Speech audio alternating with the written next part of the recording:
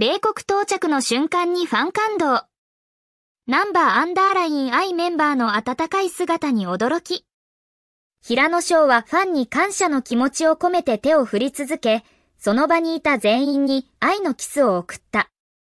コミュニティの視点から見たナンバーアンダーライン I 音楽グループの最新ニュースをお届けします。先日、メンバー3人が長い旅を経て米国へ到着しました。彼らは日本からコーチェラ音楽祭に参加するための渡航であり、その舞台に向けて意気込みを高めています。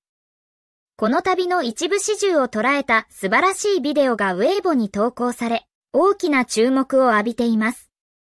16秒の動画では、メンバー2人が米国の空港に到着する瞬間が切り取られています。彼らは長いフライトの疲れを感じながらも、笑顔で迎えられたことに感謝し、ファンとの交流に熱心に取り組んでいます。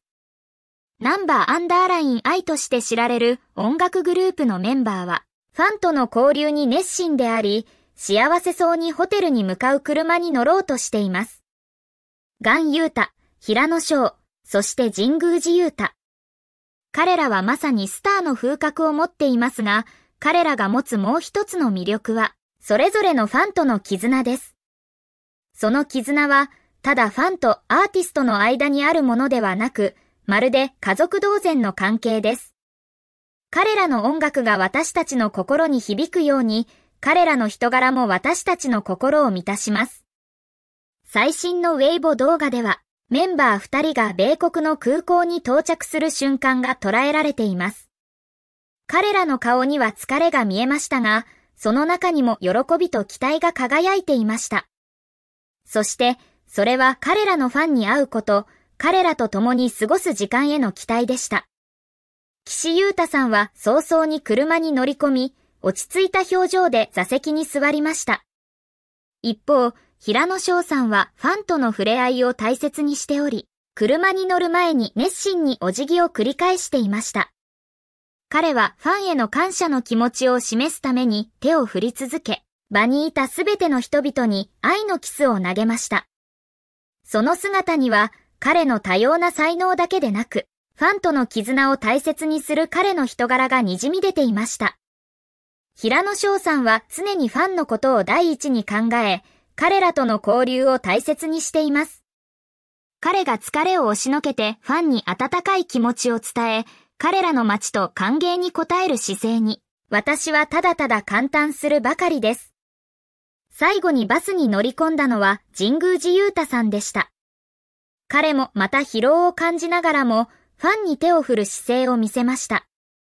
ファンたちは彼らの健康を心配し、初めての海外ツアーが安全かつ健康的に進行することを祈っています。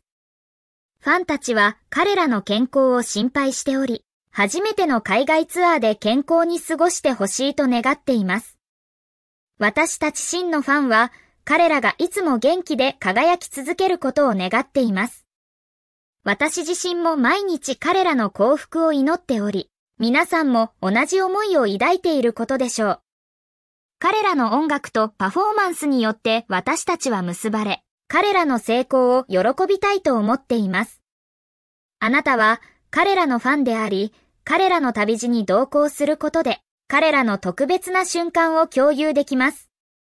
彼らが次にどんな冒険に挑むのか、その一部になれることを楽しみにしていますか？そして、彼らの音楽があなたの人生にどんな影響を与えていますか？自分の体験を共有してください。これからもナンバーアンダーライン愛の活躍に期待し、彼らがさらなる飛躍を遂げる日を心待ちにしています。ファンとして彼らの成長と幸せを見守り続けることをお約束します。私も真のファンとして彼らの健康と成功を願って毎日祈っています。そして皆さんも同じように彼らの成功を願っていることでしょう。日本の音楽グループ、ナンバーアンダーライン I のメンバーは、米国での音楽祭に向けて旅立ちました。彼らのファンへの熱狂的なサービスと健康への祈りについて、彼らの行動について感銘を受けるでしょうか？そして、あなたは彼らの応援団になりますか？